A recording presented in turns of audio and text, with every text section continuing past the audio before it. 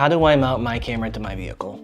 Hey, what's going on? Hope you're doing alright. My name's Matt, this is Dwyer Creatives, and today I want to go over how I mount my cameras to my vehicle or other vehicles, just to allow yourself to get some more creative angles for your filming. Now it is 2 Minute Tuesday and I know I'm notoriously bad for sticking to that 2 minutes. So right before we get started, if you are looking to purchase any of these items, I will leave affiliate links down below. Now there is no added cost for yourself, but it does help support the channel. So I do greatly appreciate if you do use those. I guess let's just go ahead and put two minutes on that clock and see what we can do. Starting off are gonna be these. These are magnetic mounts that just stick to your vehicle as long as it's metal. Of course, because plastic's not metal.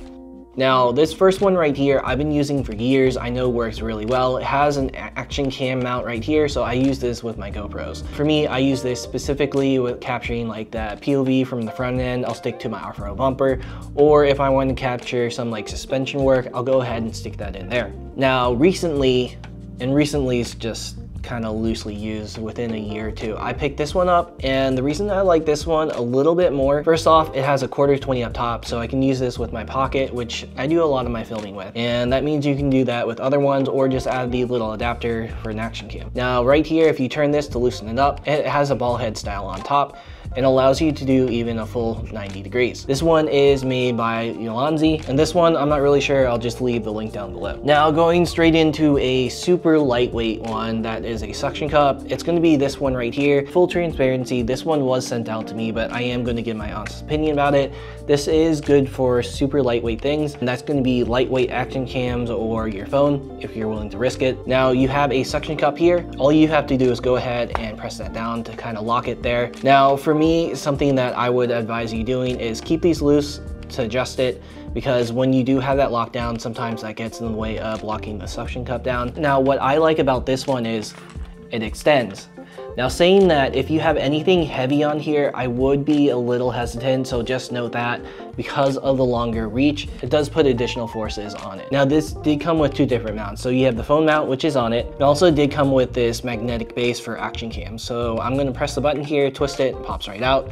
Magnetic right back in. Has a quarter 20 on the bottom, just like it has a quarter 20 on the phone mount, which you have one on the bottom, one here, and then you have a cold shoe mount right here. And I would use this for lighter setups, and I actually use this for other things around the house as just a phone holder. Pro tip right there.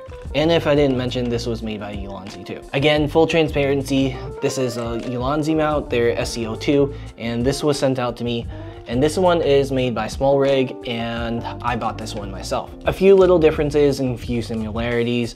These both have suction cups which use a similar style pump so you would go ahead, if you can see that white line, pump it down until that's under it. Same thing for this one, pump it down till that red line's in it. So we're gonna start with the Ulanzi one. It's a lot bigger suction cup down here. So you want to mount this onto a clean flat surface and it's really got to be pretty flat. I've noticed for this one, putting it on curved surfaces, it doesn't want to attach as easily.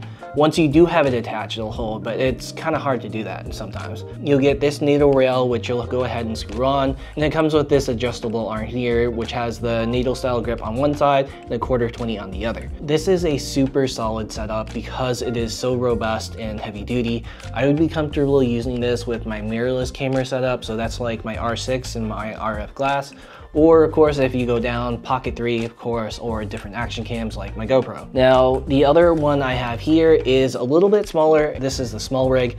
You have a NATO rail here, which is permanently affixed. That's gonna be different from the Ulanzi one, which you bolt on yourself. The base of this is gonna be a little bit smaller. I think this is about four inches, and the Ulanzi is about six inches, give or take. The arm's gonna be a similar style, just small rigs version.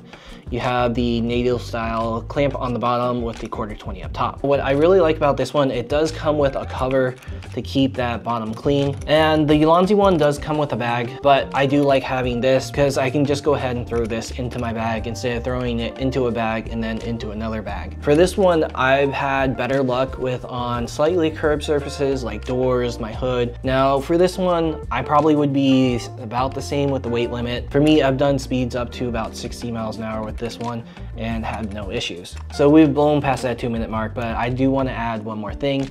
This is a SmallRig magic arm. You can use this to get a lot of different creative angles, say attaching it to your headrest or those little handle grips you have inside your car. Definitely a tool that I would keep in my back pocket. Overall, I do think a lot of these have different purposes. If I had to choose just a few of them, I know for action cameras, I probably would go with a magnetic one just because for my vehicle, it's pretty much all metal and I can stick it wherever I want and not have to worry about that falling off. You could also go with a suction cup if you are going with it and you're going to be using different style cameras, if you are running say like a 360 with a giant pole, you probably want to go with one of the three or four arm suction cup ones, because just because that's basically gonna almost 100% hold it onto your vehicle. But for basic shots outside the vehicle or trying to get shots of you inside the vehicle, running a suction cup like this would be great. For me right now, my go-to one is going to be this one, just because it is small, compact, and it will work on a lot more surfaces than I've been able to get the Ulanzi one.